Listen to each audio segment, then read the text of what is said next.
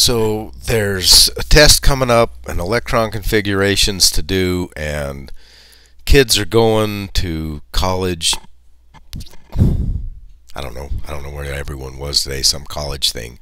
And there is a field trip tomorrow and uh, so I'm going to put some information up on classroom so you can access it and maybe help. So the first thing that I'll be looking at, I'm going to see if this works good. Hmm. I need, uh, I, I'm not able to write.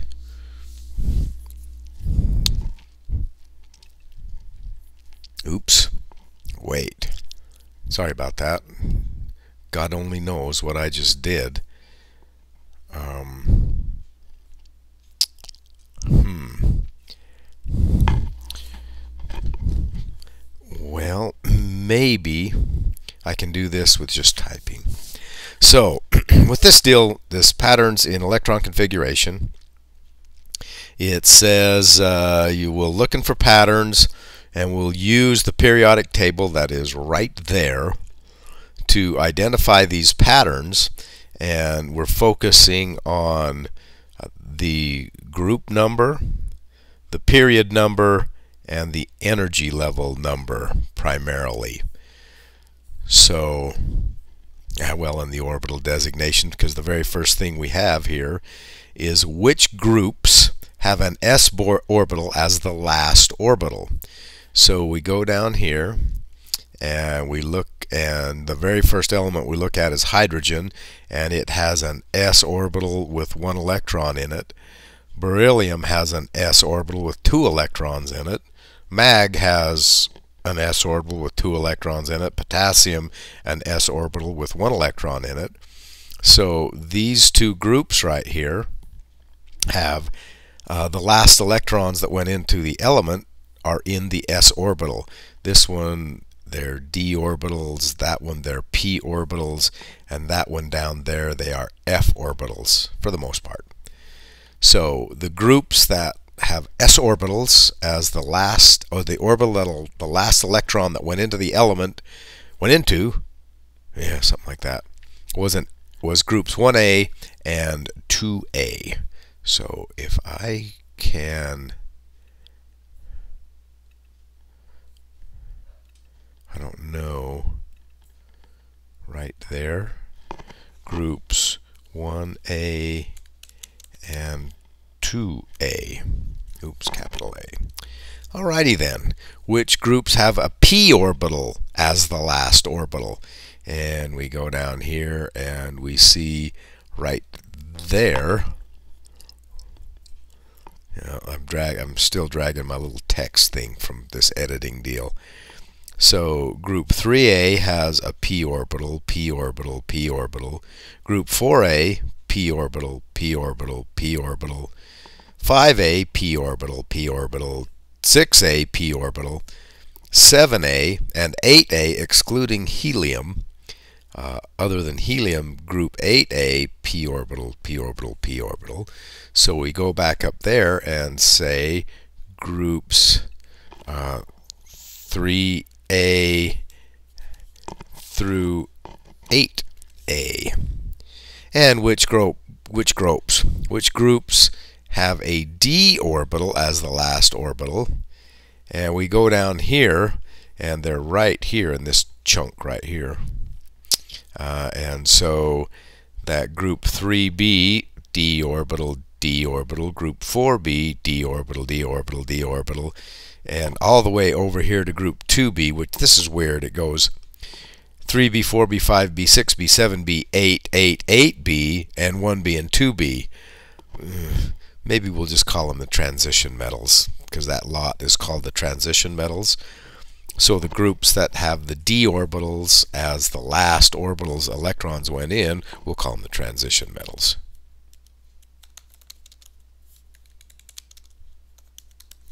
And which section is left? Uh, we cruise down here, so we got all these guys, we got all those guys, we got all those guys. Scoot over there. And the only ones that are left are these guys. and there's the inner transition metals right there. We could have numbered, given the elements, you know, 58 through 71, and then 90 through 103, but we'll just call them the tra inner transition metals.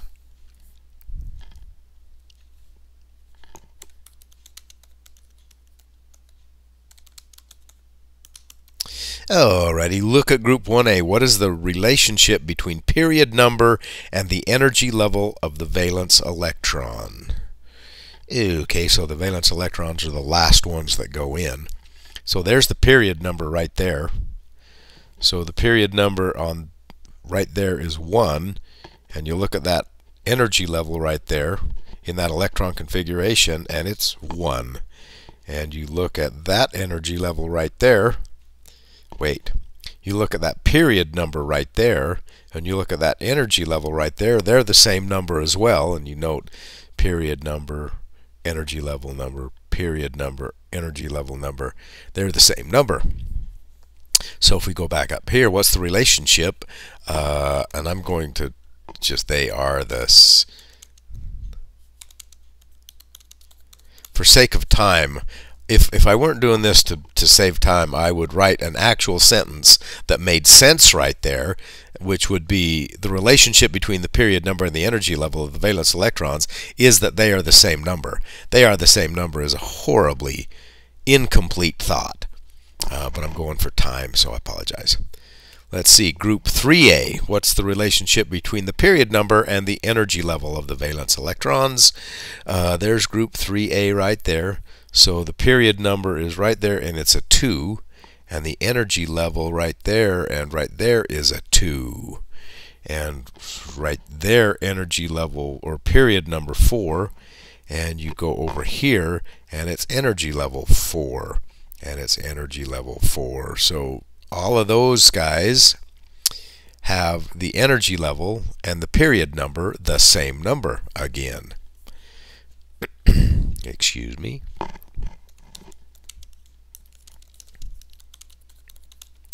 Okay, look at group 3b. What's the relationship between the period number and the energy level of the d orbitals? All right, so there we go. There is 3b, and the energy level of the orb the d orbitals in there is 3, right there. And the period number is 4. Uh, skip down here a ways. The period number is 6, and the d orbitals energy level number is 5 right there. Period number 7, d orbital number energy level 6. So the energy level of the d orbitals it lags one behind the period number.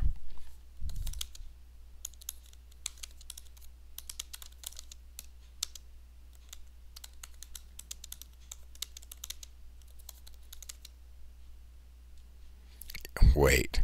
How about is one no, one one less? That sounds a little better. The inner transition metals.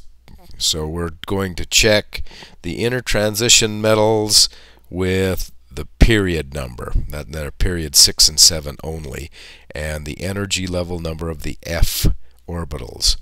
So that's period number 6. So you go over here to period number 6, and that's where these guys start down here. It goes 57, 58, 59, 60. So that's period number 6. We cruise down here and find the f orbitals, and they're right there. And the energy level of the f orbitals is 4. There it's um, period number 7 and we go down here to the f orbitals and they're 5 the f energy level of the f orbitals is 5 so the energy level of the f orbitals is 2 less than the period number. Uh, 2 less. Do do do do do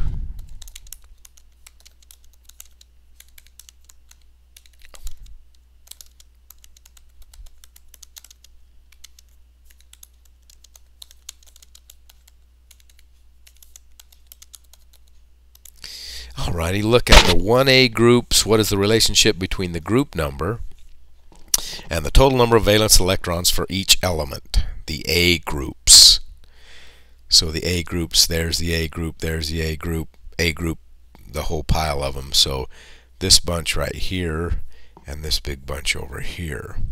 So the group number, all right, so that's group number 1A and the number of valence electrons is right there is 1 and the number of valence electrons right there is 1 and the number of valence electrons right there is 1 and the whole, all the way down that group.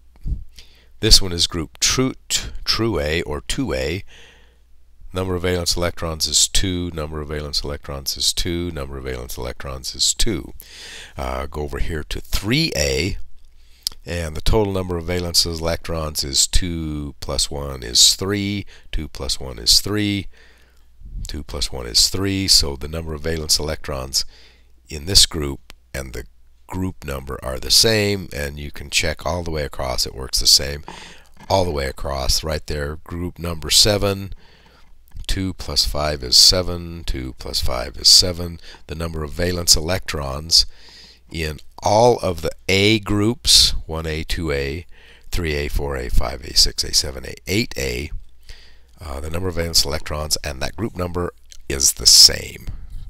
Do do do. Easy pace.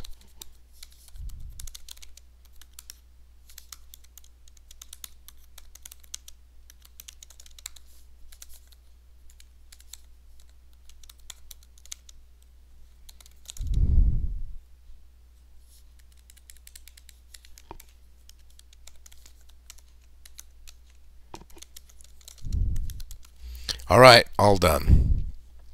So the key points of all that are uh, the period number and the energy level number are the same number.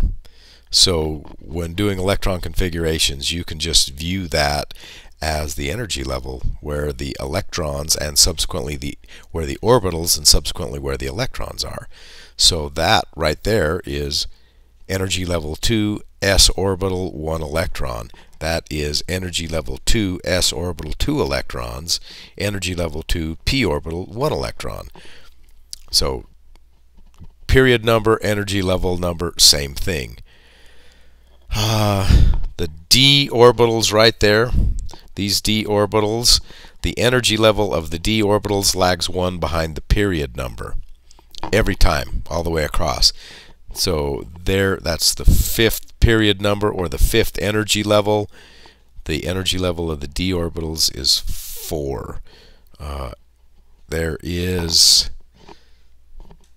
period number 7.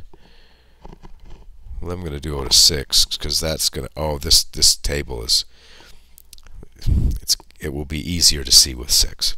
This table is old. This periodic table is old anyway. So there's period number or energy level 6, and there's the d orbitals with energy level 5. And the f orbitals, the energy level of the f orbitals lags 2 behind the period number.